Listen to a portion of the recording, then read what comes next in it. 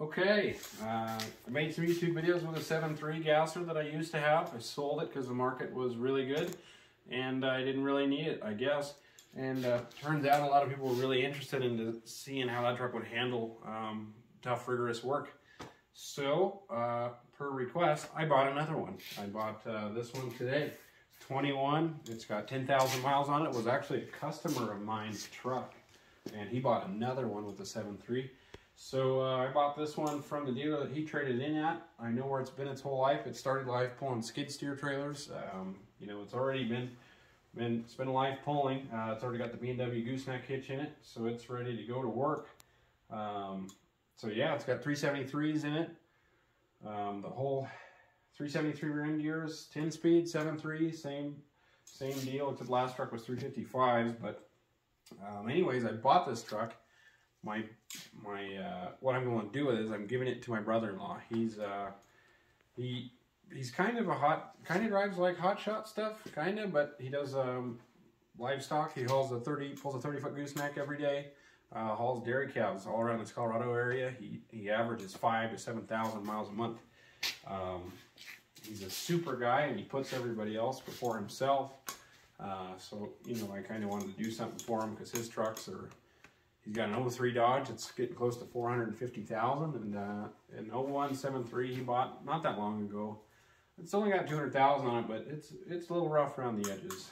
Um, but nonetheless, he spends all day, six days a week in those trucks. Um, he didn't know I'm doing this. Uh, so it'd be kind of cool to, to, do that for him. He's just a super good guy.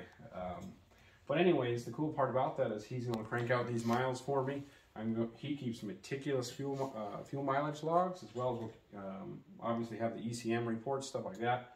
To do oil samples at every oil change. and we'll do all the maintenance on this truck um, and, and, kind of be able to show you what this truck does on, well, pretty much an oil change a month is almost what he's doing. So at least at, least every every oil change, I'll make a video um, with oil sample data, um, kind of how everything's looking, um, how this truck handles you know that that 350 mile a day average with a trailer. That's every day this thing's gonna be hooked to a trailer. Um, so yeah, we'll be able to hit a, a really a, a neat um, dynamic of how this truck could, uh, how it will perform in the work world, um, and see how it handles. We, you know, uh, I send those send my oil samples off to Caterpillar. They'll be able to tell me anything that's in that oil, any bearing material, anything like that. If get goofy because a lot of people claim um, you know, they can't handle the hard work like the diesel can.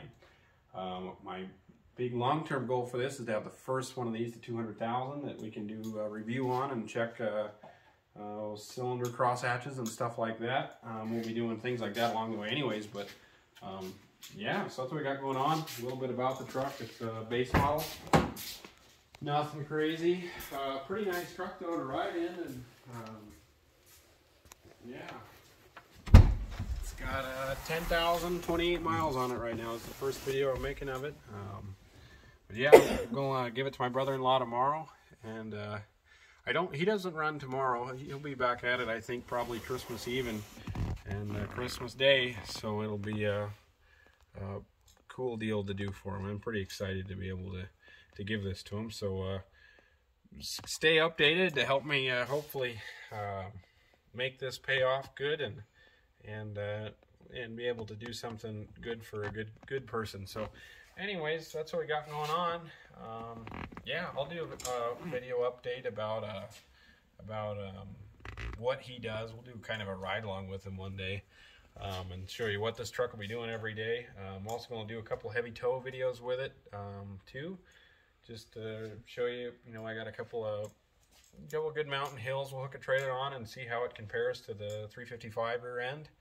And uh, yeah, so kind of keep an eye out for these videos. I'm to um, really do my best to, you know, you know, Ford doesn't pay me anything, but I'm, I'm really promoting this platform mostly because I see so many people get into diesels and just get taken for a ride um, in, when it comes to repairs.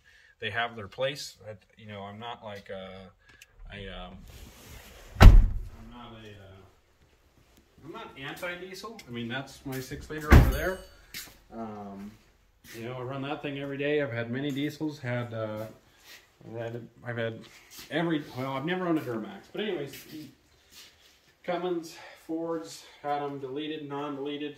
Um, so yeah, but nonetheless, they're all expensive and they're getting out of hand. So I want to show people that hey, this is a good viable option. Here's what it looks like for a work truck platform, um, and this is how it'll handle itself over over a good while of strenuous work. So uh, kind of stay tuned and and uh, I guess subscribe. Then we'll put a put a video up pretty often about this thing, doing updates and and fuel mileage updates. And uh, yeah, we should have.